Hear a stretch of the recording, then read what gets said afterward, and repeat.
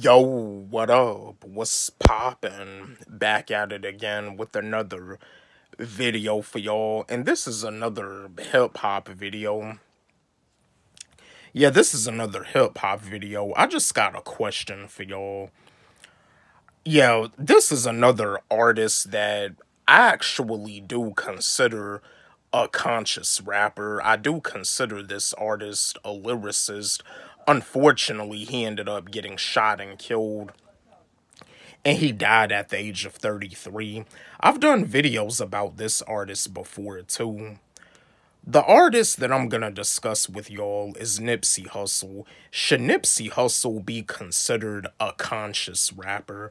Let's have a discussion about this. Chat with me, engage with me, drop me a, a comment in the comment section my fellow hip hop fans, my fellow rap fans, should Nipsey Hussle be considered a conscious rapper?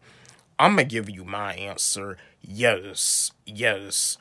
I mean, Nipsey Hussle, with him being from South Los Angeles, when it comes down to, to that vibe of music, that style, like Compton, South LA, when it comes down to when it comes down to the type of beats that they use, they they kind of you know be using those those beats that that are like that are like bump those those bumpy beats kind of like got that got that vibe that kind of bumpy vibe.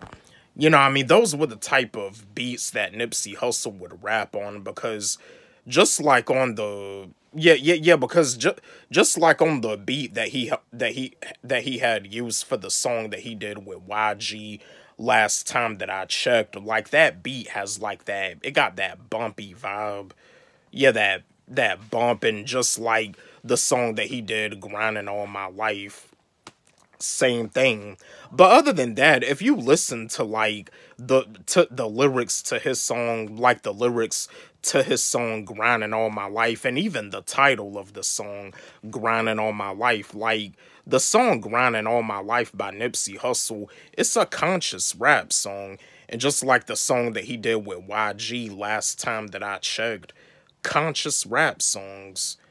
You know what I mean? But yeah, I mean, yeah, Nipsey Hussle, if you ask me, I do feel that Nipsey Hussle should be considered a conscious rapper, just like Tupac, just like Immortal Technique. And just like with a Lupe Fiasco, like Nipsey Hussle, when it comes down to conscious hip hop, when it comes down to conscious rappers, Nipsey Hussle should be in the conversation. J. Cole should be in the conversation. And Kendrick Lamar, he got some conscious rap songs.